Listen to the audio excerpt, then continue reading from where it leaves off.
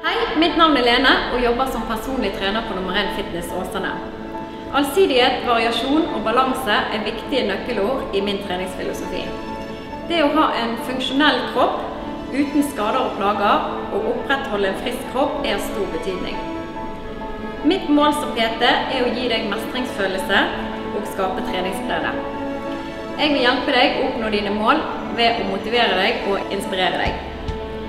Jeg er opptatt av at du skal få maksimalt utbytte ut av hver økt, og det gjør vi med å velge riktig trening utført med god teknikk, som gir deg rask framgang. Min ambisjon er at du etter hver økt skal sitte igjen med følelse av at du har gitt alt.